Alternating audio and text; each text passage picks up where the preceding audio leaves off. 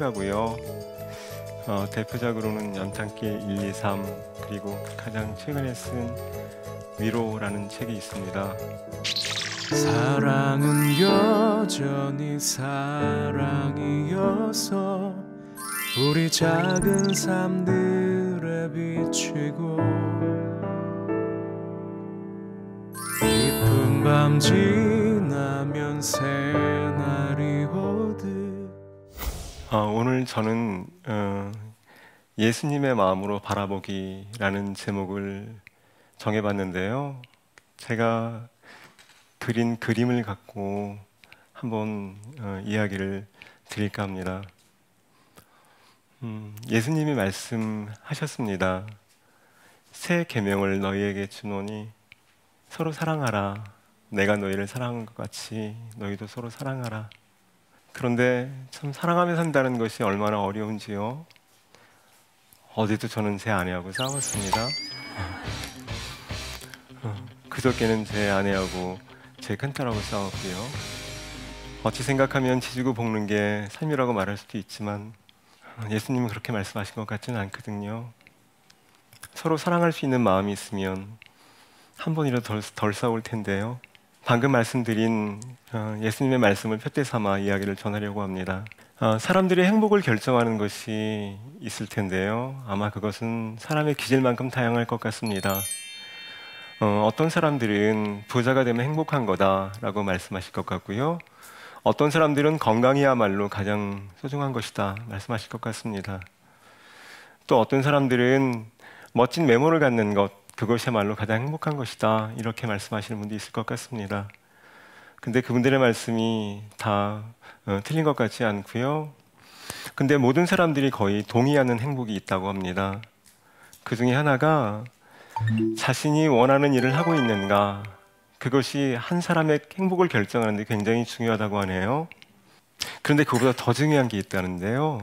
아무리 자신이 원하는 일을 하고 있다고 해도 함께 살아가는 가족들 혹은 함께 일하는 동료들과 관계가 좋지 않으면 절대로 행복감을 느낄 수 없다고 하네요. 그럴 것 같습니다. 사회적인 성공을 거두었어도 집에 가서 아내가 아내하고 사이가 안 좋다든가 어, 자녀들과 사이가 안 좋다거나 아니면 그가 일하는 일터에서 동료들과 관계가 안 좋으면 그는 행복을 느낄 리 없을 것 같습니다. 인간관계에서 매우 중요한 역할을 하는 것이 있는데요. 그것은 마음으로 바라보기라고 제가 이름을 붙여봤습니다. 눈으로 바라보는 건 무엇이고 마음으로 바라보는 건 무엇일까요? 저의 경우는 대부분 눈으로 바라보고서 사람을 판단하고 사물을 판단하고 상황을 판단했던 적이 많은 것 같습니다. 지금도 그렇고요. 그런데 예수님은 우리에게 눈으로 바라보지 말고 마음으로 바라보라고 주문하셨던 것 같습니다. 마음으로 바라보기를 잘하면 인간관계도 훨씬 잘할 수 있다는 것이지요. 그래서 우리가 더 행복해질 수 있다는 것이지요. 마음으로 바라본다는 것은 달리 말씀드리면 예수님의 마음으로 바라보는 것일지도 모릅니다. 그런데 과연 예수님의 마음을 어떻게 알아갈 것인가? 그게 저에게는 지금도 큰 숙제고 앞으로도 큰 숙제일 것 같습니다. 판다 가족이 살고 있는 고래바위 동굴입니다. 왜 저곳이 고래바위 동굴이냐면요. 산 정상에 정말 고래바위가 있습니다. 고래바위가요, 자신의 입을 판다 가족이 살 수 있는 동굴로 허락한 것입니다. 가운데 있는 게 어미 판다인데요. 어미 판다가 어느 날 고래바위에게 물었습니다. 너 진짜 고래 맞니? 고래바위는 진짜 고래 맞다고 말했습니다. 그리고 자신은 지금 바다로 가야 할 시간을 기다리고 있다고 말했고요. 판다 가족은 어, 저 고래바위 동굴에서 행복하게 살았습니다. 강물처럼 흐르는 은하수를 바라보며 어미 판다는 새끼들에게 옛날 이야기를 들려줍니다. 얼마나 행복했을까요? 강아지 한 마리가 눈 내리는 하늘을 바라보고 있습니다. 강아지는 뭘 바라보고 있는 것일까요? 강아지 지금 이렇게 얘기하고 있습니다. 도무지 저 아이를 이해할 수가 없어. 쟤 왜 저러는 거지? 아무래도 미쳤나 봐. 뭘 보고 그러는 걸까요? 사막여우 한 마리가 눈 내린 들판을 걷다가 걸음을 멈추고 고개를 갸웃거리며 뒤를 바라보고 있습니다. 사막여우는 뭐라고 말하는 거냐면요.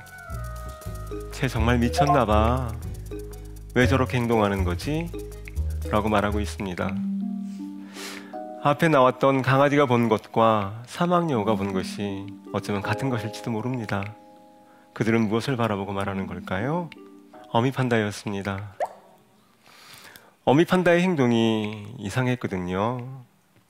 어미 판다는 눈만 내리면 나무 위로 올라갔는데요. 나무 위에 올라간 것까진 괜찮았는데 나무 위에 올라가서 일주일 동안 열흘 동안 계속 눈이 내리면 내려오지 않습니다. 아무것도 먹지 않고 배를 굶어가면서 나무 위에 올라가 있습니다. 눈이 그쳐도 바로 내려오지 않고요. 눈이 그친 다음에 햇볕이 나와 햇볕에 눈이 녹아 군데군데 땅이 보이면 그때서야 다 죽어간 채로 내려옵니다. 왜 다 죽어간 채로 내려올까요? 아무것도 못 먹었으니까요. 그런 어미판다를 보고서 강아지도 사막여우도 미쳤다고 말을 하는 것이지요. 어쩌면 어, 우리 주변에 누군가가 어미판다와 비슷한 행동을 한다면 어, 많은 사람들이 그에게 제정신이 아니라고 말할 수도 있을 것 같습니다. 학교에서 그런 아이가 있다면 그 아이는 거의 따돌림 당하기 알맞지요. 도대체 어미 판다는 왜 그럴까요?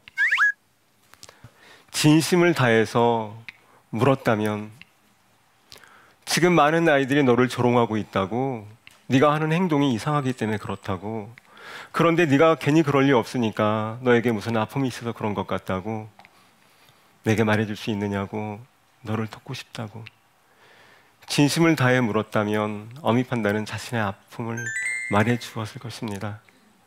아무도 그렇게 묻지 않고 눈으로만 바라보고 미쳤다고 말했으니까요. 진심을 다해 물었다면 그것은 마음으로 바라보려는 자의 마음일 것입니다. 단지 눈으로 바라보지 않고요. 어미 판다에겐 그럴 만한 이유가 있었습니다. 그로부터 얼마 전 일입니다. 고래바위 동굴 저편으로 한방눈이 내리고 있는데요. 지금 동굴 안쪽에서 새끼들이 배고파 울고 있습니다. 아까 보셨던 어여쁜 새끼 두 마리 기억나시죠? 네. 지금 울고 있는데 어미 판다는 동굴 입구에 서서 먹이를 구하러 나가지 않고 망설이고만 있습니다. 일주일째. 새끼들이 배고파 울면 어미는 빨리 나가서 먹이를 구해와야 하는데 먹이를 구하러 나가지 않고 일주일 동안 서성거리고 있으니 어찌 보면 참 비정한 엄마라고 말할 수 있을 것 같습니다. 어미 판다는 왜 먹이를 구하러 나가지 않고 저렇게 망설이고만 있을까요? 그 모습을 본 붉, 붉은 늑대가요 고개를 쑥 빼고 말하고 있습니다. 엄마 맞아? 아무리 봐도 이상해 쟤는 깜장 병아리가 촐랑거리며 말을 합니다. 비정한 엄마임에 틀림없어. 정말 엄마라면 저럴 리 없거든. 그들 또한 눈으로만 바라보고 이렇게 말하고 있습니다. 어미 판다에게 다가가 진심을 다해 물었다면 어미 판다는 왜 그럴 수밖에 없는지 그 이유를 말해줄 것입니다. 새끼들이 배고파 우는데 먹이를 구하러 나가지 못하는 이유를 말해줄 것 같거든요. 다가가 진심을 다해 묻는 것, 그것이 마음으로 바라보기일 텐데요. 깜장 병아리와 붉은 늑대는 눈으로만 바라보고 어미 판다에게 비난을 했습니다. 다시 3일이 지나 열흘째가 되었습니다. 동굴 안에서 배고파 울고 있는 새끼들은 더 이상 지쳐서 울지도 못합니다. 어미 판다는 그제서야 먹이를 구하러 첫 발을 떼기 시작하지요. 왜 그랬을까요? 왜 열흘 동안이나 새끼들이 배고파 엄마를 보채는데 먹이를 구하러 나가지 못했을까요? 어미 판다에겐 이유가 있었습니다. 저곳을 빠져나가는 순간 눈 위에 선명하게 발자국이 남을 것이고요. 저 발자국을 보는 순간 자신들을 노리고 있는 사냥꾼들이 다가올 거라는 걸 어미 판다는 직감하고 있었거든요. 그래서 눈이 그치고 햇볕에 눈이 녹아 군데군데 땅이 보일 때까지 어미 판다는 기다렸던 것입니다. 그러나 열흘 동안 눈이 그치지 않으니까 어미 판다는 할수 없이 나가야 하는 거죠. 내리는 눈이 자신의 발자국을 덮어줄 거라고 믿었지만 덮어질 리 있을까요? 산 아래에서 산 정상을 향해 올라가는 두 명의 사냥꾼입니다. 이 사냥꾼들이 어미 판다의 발자국을 발견하는 순간 판다가 조금 위태로워지는데요. 오른쪽 한 사냥꾼 판다 발자국으로 종전걸음으로 다가가서 쪼그려 앉아 말했습니다. 판다 발자국이 틀림없어 몇 달 전에 보았던 그놈이야. 지금 어미 발자국 혼자 있는 거 보니까 새끼들은 집에 두고 왔으니 틀림없어. 내게 좋은 방법이 있어. 너는 어미 판다 발자국을 따라 산 아래로 내려가. 그래서 어미 판다를 잡아.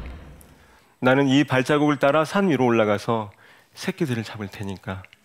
어때? 좋은 생각이지? 하고 그들은 각자의 길로 걸어갔습니다. 어미 판다는 자기를 따라온 사냥꾼이 있었는데 그를 멋지게 따돌리고 가슴 가득 먹이를 들고 지금 새끼들을 있는 곳으로 향하고 있습니다. 그런데 자기가 찍고 내려온 발자국 그 위로 어지럽게 찍힌 사냥꾼의 발자국이 보였습니다. 순간 가슴 가득 새끼들에게 줄 먹이가 있었는데 어미 판다는 그 먹이를 포기할 수밖에 없습니다. 왜냐하면 달려가야 하니까요.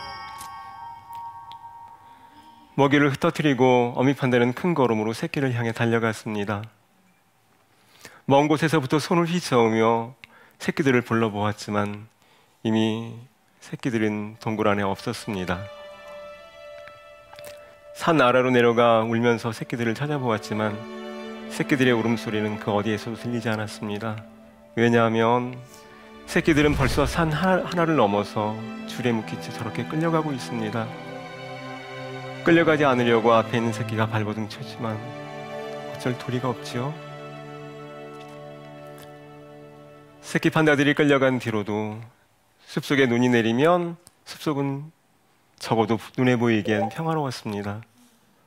그러나 저 숲속에는 순식간에 새끼 두 마리를 잃어버린 슬픈 어미 판다가 있죠. 어미 판다는 눈만 내리면 저렇게 나무 위로 올라갔습니다. 왜 어미 판다는 눈만 내리면 나무 위로 올라갔을까요?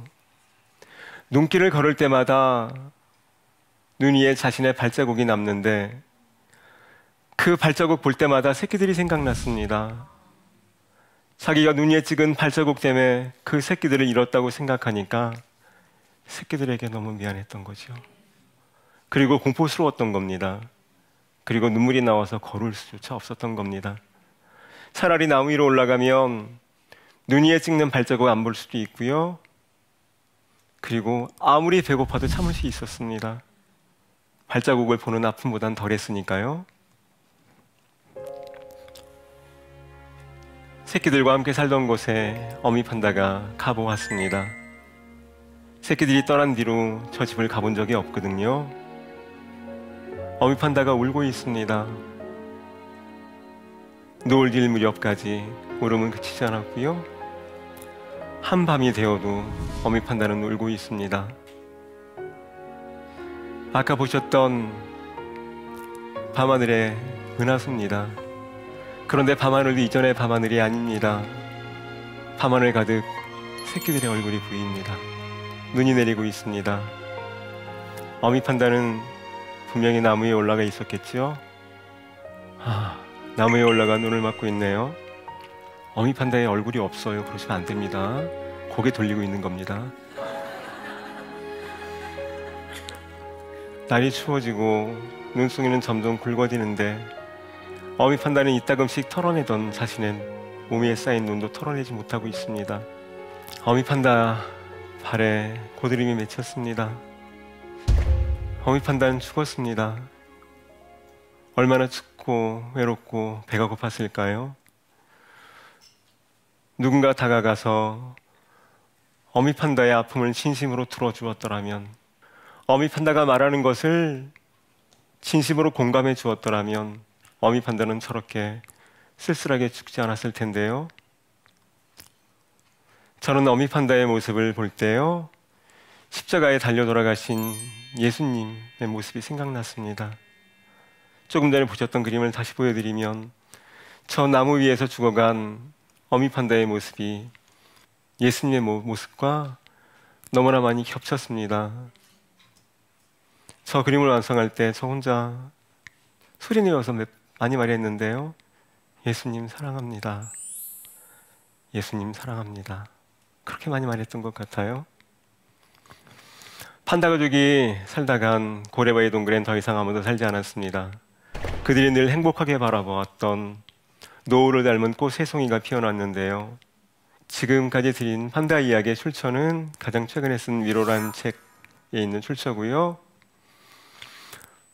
그 사람을 도무지 이해할 수 없어 우리는 이렇게 말할 때가 있습니다. 저는 어제도 제 아내한테 이런 말 했습니다. 그 사람 참 이상해. 우리는 이렇게 말할 때도 있습니다. 저도 가끔씩 쓰는 말입니다.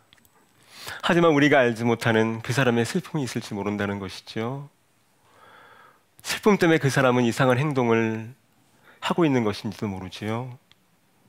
누군가 이상한 행동을 하고 있다면 우리는 다가가 진심을 다해 물으면 그는 그의 아픔을 우리에게 말해줄 수도 있습니다. 어미 판다가 죽은 붉은 나무입니다. 어미 판다가 나무 뒤에서 우리에게 질문을 던집니다. 눈으로 바라볼 것인지 아니면 마음으로 바라볼 것인지.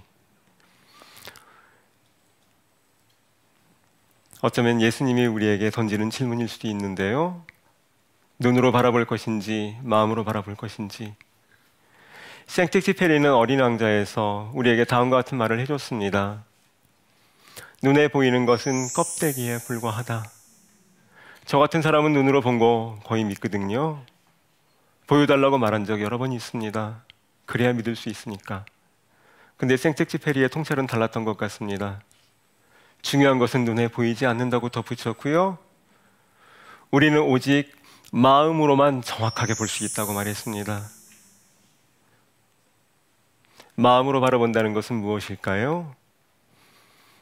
나의 생각대로 짐작하지 않고 그에게로 다가가 진심을 다해 묻는 것. 너 틀림없이 기분 나쁠 거야. 네 얼굴에 써 있거든.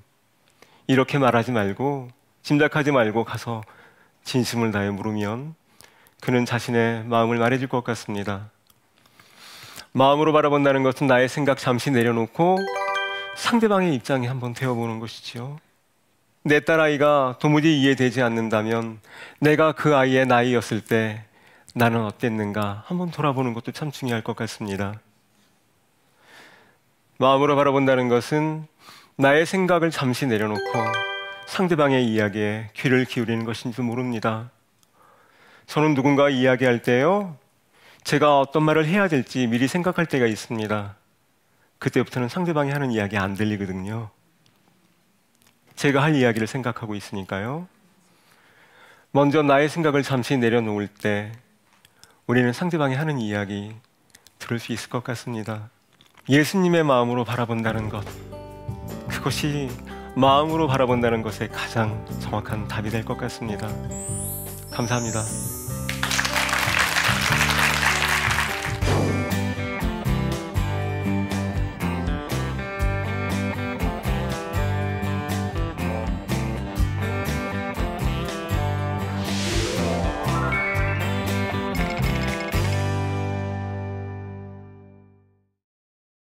작가님의 강연을 들으면서 저도 예수님의 마음으로 세상을 보고 사람을 보고 싶다는 생각이 들었습니다.